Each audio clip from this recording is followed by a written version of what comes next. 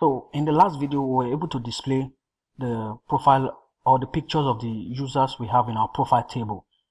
Now what we want to do next is we want to be able to click on the picture or on the names which appears as links. When we click on them, it will take us to a page where we can just see the profile of these users. So what we need to do is we go back to our text editor and if we as we can see we have uh, a user.php um, that we have here but we don't have the page yet. So inside our users folder we create a new file and we call it user.php now what we are going to have inside this user.php is uh, the same as what we have in the profile.php so we just copy what we have inside our profile.php go to our user.php then we paste it inside what we have. Then the next thing we are going to do is we change this name from um, view profile to view user. So we change this to view user view user dot php now we can call this um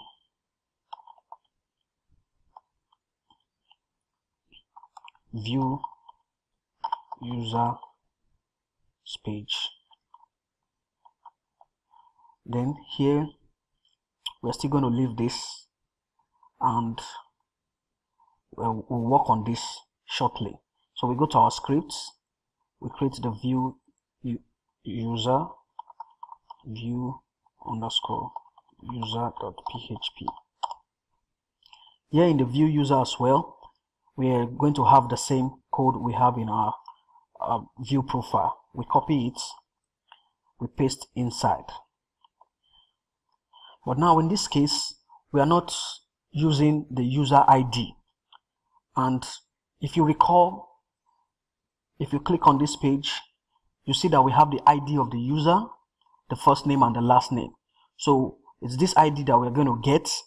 Then with this we can get the data from the sign up table in the database so what we're going to do because this user we are assuming if we go back we're assuming this user is not logged in. So we can go back to check. So what we are going to do is we're going to change this to id instead of user id we change this to id and also to get the id from the uh, url we are using the get super global. So we'll say get. With this we are getting the id or if we don't want to use get the id we can just say first name equal to using get super global and inside we'll have the first name. But in this case we are getting the id so we're saying select all from profile where id is equal to the id we have in the url and we are leaving every other thing the way that they are.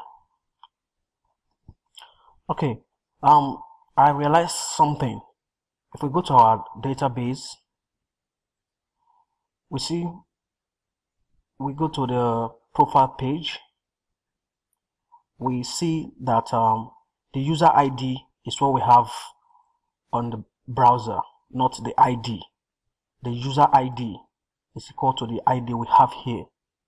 So what we're going to do is instead of saying where ID is equal to get ID we say user ID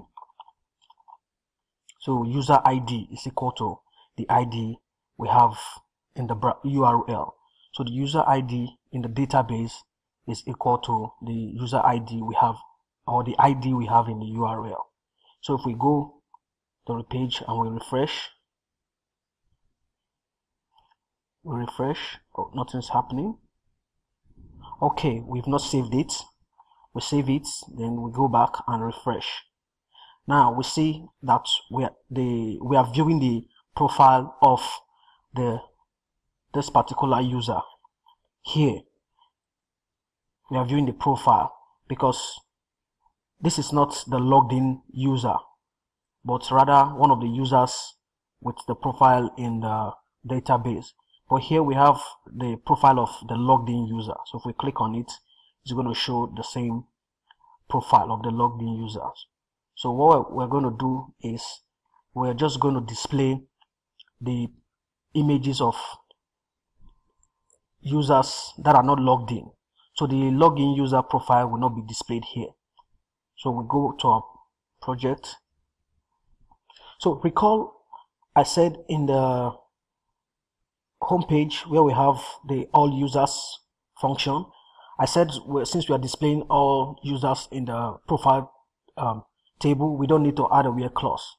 But if we here we just want to display the uh, users, other users that are not logged in, we want to display their profile picture here. That means we don't want the user that is logged in to have a picture displayed here. What we're going to do is we're going to add a where clause here. You can say where user underscore id is not equal to the section session id so we say it's not equal to session id so this will display all the users in the table apart from the currently logged in user. So if we go back to our page and we refresh now we see we only have uh, the other user in the database because of this where clause. If we remove this where clause here, it's just going to display all the users we have in our profile.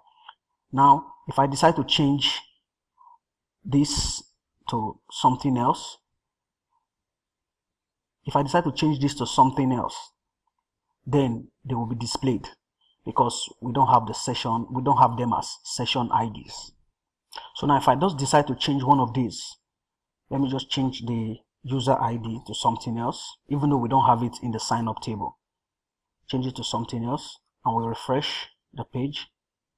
We see that we are displaying the user whose ID is not equal to the session ID because we don't have these IDs stored in the session already because the session IDs are only stored when the user logs in. So the session ID are only stored when the user logs in. So if we log in these users now, we'll find out that their picture will not be displayed here on the home page. So with this, we've been able to display the user's profile picture. So as many users that will be added, their picture will be displayed there apart from the login user. So in the next section, we are going to see how we can add the image of the currently logged in user and also a link here to take them to the view profile page.